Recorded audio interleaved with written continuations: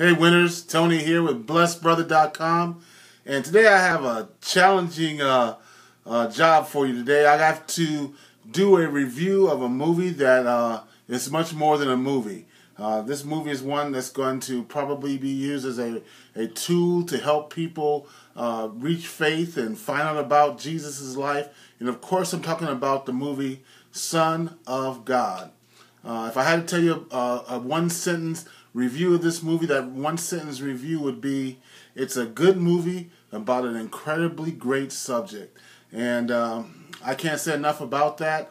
You know, in terms of the movie itself, and I'll try to disassociate myself from the emotional feeling I had watching the movie because I'm so familiar with what happens in the movie from my own Bible reading and my own study and so forth.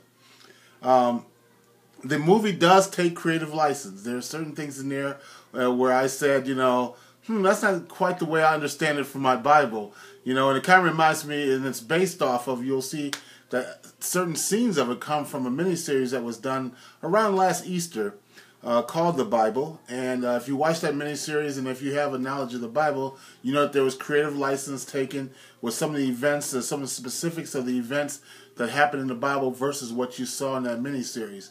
Well, you'll see the same kind of thing in this movie. However, again, it is a great movie from the standpoint that it's a good movie. Not a great movie, it's a good movie from the standpoint that it does follow the story and it tells a message that the world definitely needs to hear. So, of course, I encourage the whole family to go. I encourage you to bring people there.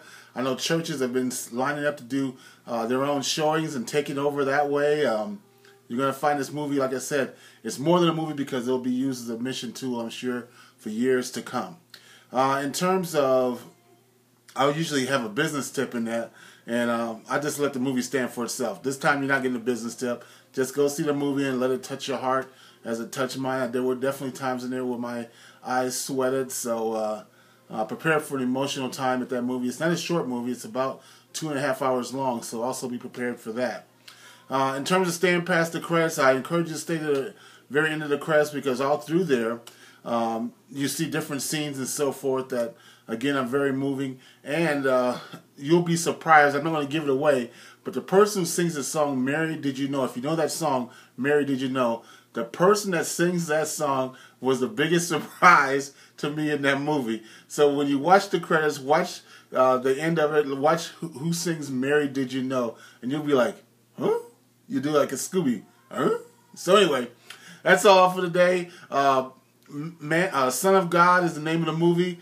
Uh, definitely go see it. Uh, check out blessedbrother.com. I tell you what, I got some training up there for you now. If you ever want to know how to make money with Instagram, how to make money with Craigslist, that kind of stuff, go to blessedbrother.com. Get on that list. Find out what I'm doing.